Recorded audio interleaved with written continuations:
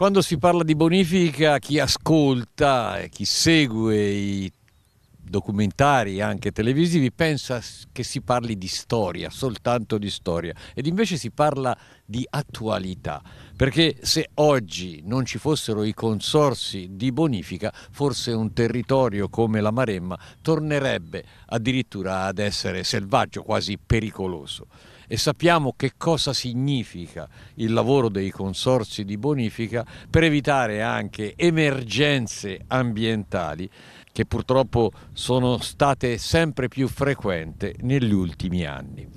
Noi parliamo oggi con il presidente del Consorzio di Bonifica 6 Toscana Sud Fabio Bellacchi. Cinque anni di esperienza di un consorzio che ha avuto già un grande merito iniziale, quello di unire due territori, cioè la Maremma e il Senese. Fabio Bellacchi, allora cinque anni di attività.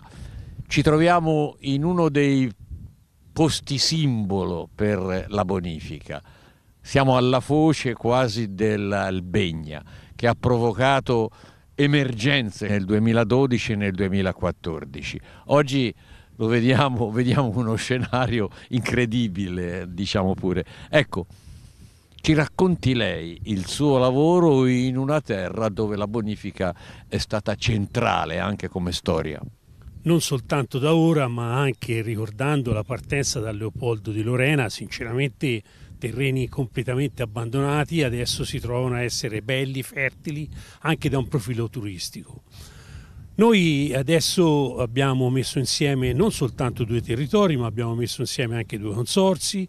Sta, sono stati cinque anni molto intensi, cinque anni dove abbiamo rispettato le regole della legge regionale, però c'è stato del lavoro siamo arrivati in fondo che possiamo mandare in gara addirittura tra quest'anno e il prossimo anno oltre i nostri lavori anche lavori per oltre 35 milioni di euro messi a disposizione con finanziamenti sia ministeriali che della comunità europea dalla regione toscana, per cui anche questo è un segno positivo che la nostra progettazione sono progettazioni valide che stanno facendo breccia in ogni posto dove andiamo. Noi abbiamo delle progettazioni anche sull'irrigazione, questa zona qui dovremo ritornarci sopra sull'irrigazione, stiamo cercando di portare avanti diverse situazioni come dei bacini nella, nella parte alta dell'Albegna.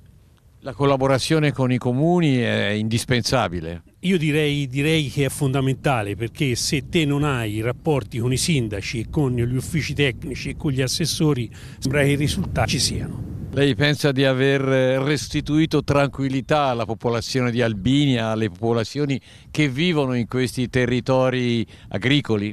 Io spero di sì e anche facendo delle, non soltanto dimostrando con dei lavori ma facendo anche tante riunioni per dire come, come in questa zona e abbiamo operato nel migliore dei modi cercando di rimettere a posto un'albegna cercando di rimettere a posto tutte le trovole cercando di rimettere a posto buon lavoro era già stato iniziato dopo l'alluvione del 2012 abbiamo cercato di completarlo. Prossimo intervento qui allora, il prossimo intervento qui da parte della Regione Toscana, la Cassa di Colmata, abbiamo concluso l'argine remoto e comunque abbiamo sei zone dell'Albegna Alta da portare avanti e da sistemarli e anche questi stanno arrivando le autorizzazioni, con il finanziamento anche questo della Regione Toscana.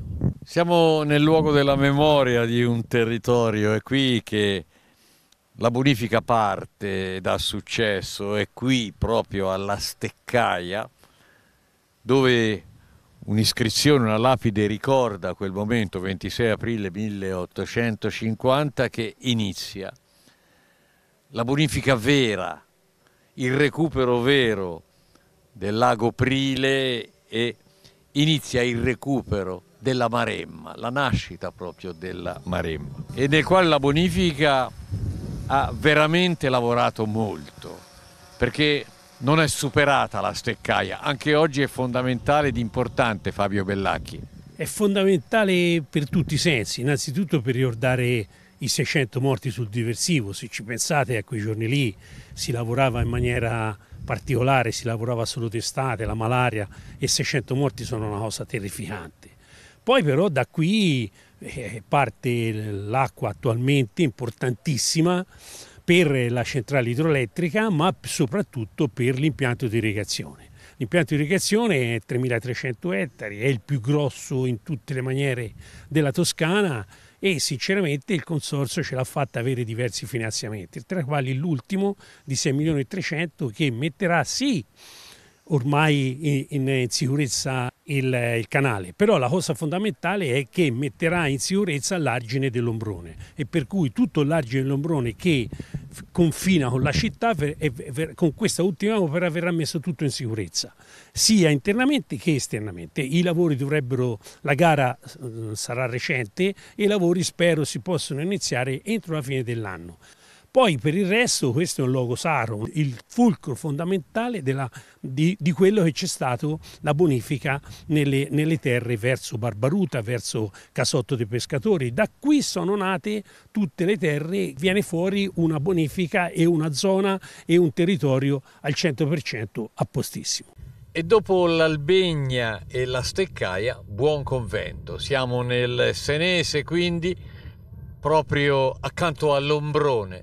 Non è lo stesso ombrone che magari si trova nel Grossetano, ma la dimostrazione di come da quattro anni il consorzio stia lavorando anche in quest'area. Con quali risultati, Bellacchi? Ma io direi con dei risultati estremamente positivi perché qui ci siamo, ci siamo, sempre, oltre con tre o quattro mezzi nostri direttamente, sempre con 17-18 cantieri aperti con le ditte di Siena tutte, quasi tutte della provincia di Siena e per cui è stato anche un impulso economico, ma più che altro è stato anche un grosso risultato perché sinceramente in questa zona qui l'abbandono era completo.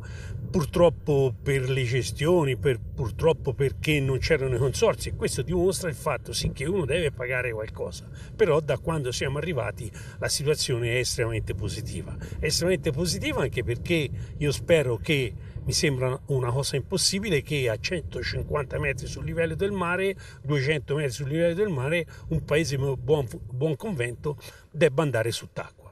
E quindi ci sono anche progetti per il futuro. Questo è soltanto un inizio, diciamo. Questo è soltanto un inizio, la cosa importante è la salvaguardia di tenere aperto, come fate conto, tenere aperto il, il ponte sottostante, il ponte del Guado, che con tre luci enormi purtroppo Buon Convento andava sott'acqua.